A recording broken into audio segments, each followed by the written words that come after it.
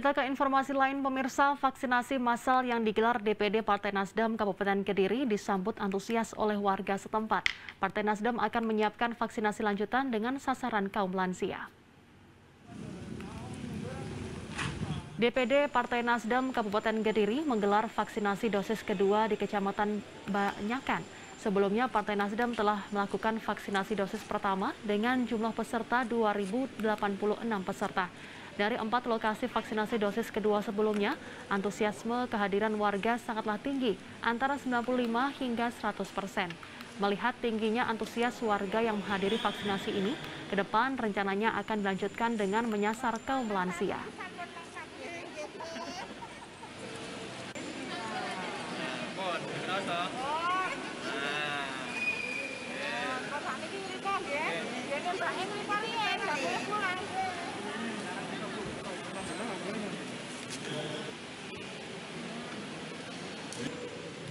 Di Balai Desa Banyakan ini adalah titik keempat untuk pelaksanaan uh, vaksinasi dosis kedua yang diselenggarakan oleh uh, Partai Nasdem.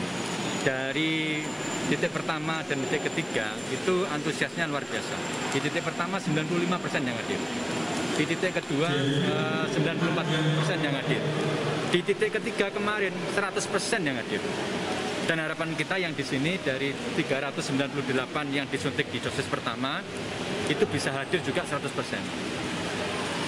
Jadi antusiasnya luar biasa. Dan ini uh, bagian dari Nasdem bagaimana kita mengelola, menyelenggarakan vaksinasi dengan uh, sedikit ada kreasi gitu.